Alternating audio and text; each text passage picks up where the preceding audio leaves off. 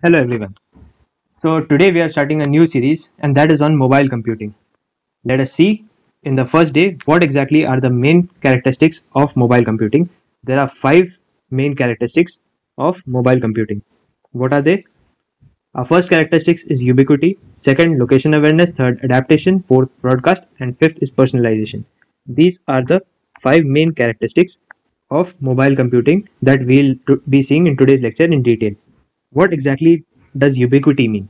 Ubiquity means the ability of user to perform computations from anywhere and at any time. The ability to receive notifications as long as the user is in coverage area is one example of ubiquity. Okay, so this is what ubiquity means, our first point. A second point is location awareness. What exactly is location awareness? Connecting to the handheld device with a GPS connecting the handheld device with a GPS that is global positioning system for providing information about the current location of a user to the tracking station is known as location awareness. What is the example of this? As you all know, an example of this would be Google Maps. You are able to see the traffic in a location. Okay, whether there is no traffic, less traffic or too much traffic and this the density of traffic along a road that information is gathered through location awareness of a mobile device. Okay? Coming to our third point. The third point is adaptation. What exactly adaptation means? It is the ability of a system to adjust to bandwidth fluctuation without inconveniencing the user.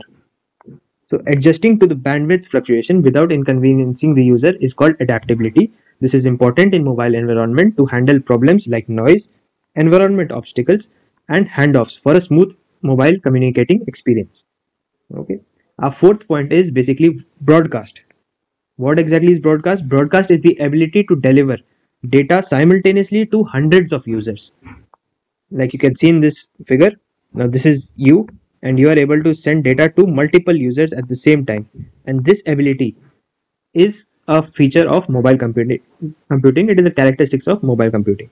Coming to our fifth point what exactly is personalization when we talk of personalization, it means the services in a mobile environment can be personalized according to the user's profile. This is required to let the users easily avail information with their handheld devices. And this concludes our topic 5 characteristics of mobile computing, which is ubiquity, location awareness, personalization, adaptability, and broadcast. So these are the five main and important topics of mobile computing, the characteristics of mobile computing that each one of you should remember. Thank you very much. If you like the video you just saw, please consider hitting the like button and letting us know. Also, subscribe to our channel and share the video with your friends. Stay awesome and see you next time.